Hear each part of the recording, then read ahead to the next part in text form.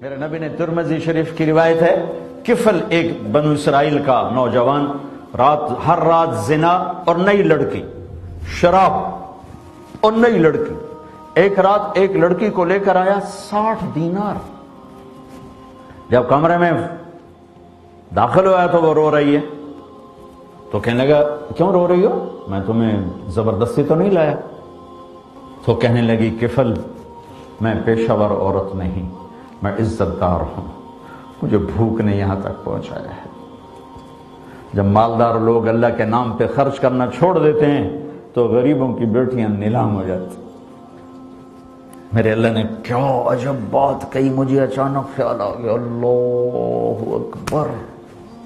اللہ کہتا ان اللہ ملائکتہ یصلون علی النبی. اللہ اور اللہ کے فرشتے اس عظیم الشان نبی پہ سلام پڑھتے ہیں۔ کتنی بڑی بات ہے۔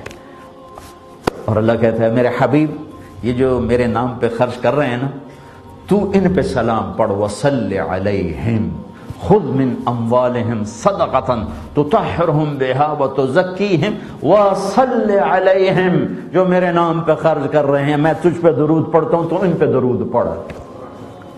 اللہ اکبر! جہاد کرنے والوں کو نہیں کہا ان پہ درود پڑھو، ذکر کرنے والے، حج کرنے والے، عمرہ کرنے والے، تبلیغ کرنے والے تحجد پڑھنے والے، روزہ رکھنے والے، ان کے نہیں کہا میرے نبی ان پہ درود پڑھ۔ کہتا میرے نبی، میں اور میرے فرشتے تجھ پہ درود پڑھتے ہیں، تو ان پہ پڑھ جو میرے نام پہ خرچ کرتے ہیں۔ غریبوں کی بیٹیاں نیلام ہو جاتی ہیں، جب مالدار اپنی زکات روک لیتے ہیں، انہیں کہا، کفل عزت دار ہوں۔ غربت نے میری عزت بیچ دی۔ غربت نے میری عزت بیچ دی۔ تو کفر رو پڑا۔ کہنے لگا، میری بہن، جس عزت کے ساتھ آئی تھی، اسی عزت کے ساتھ چلی۔ جو تمہیں پیسے دیے ہیں، تمہیں ہدیہ ہے۔ میرے لیے دعا کر، میں بہت کتا انسان ہوں۔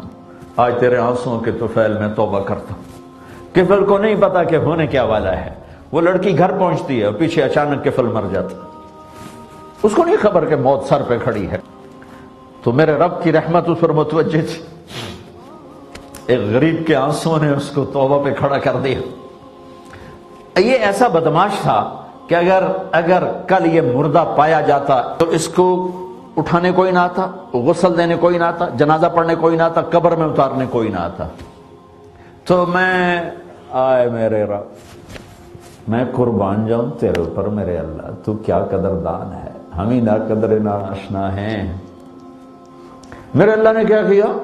وہ کیا جو کرتا ہی نہیں۔ پردے کے پیچھے نہیں دکھاتا کسی کو۔ لیکن اللہ جو چاہے کر دے، اللہ نے پردہ اٹھا دیا۔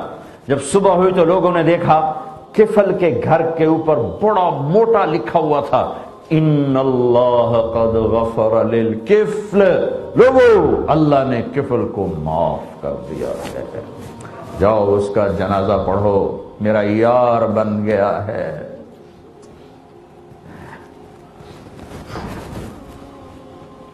اے ہائے، دوستی لگانے میں کیا تیزی دکھاتا ہے میرا اللہ؟ کوئی ہے اس طرح معاف کرنے کے نظام بنائے؟ تو اس رب کی رحمت اور جنت کو کیوں چھوٹا کر دیا کہ ہمارے سوا کوئی جنت میں نہیں جائے گا؟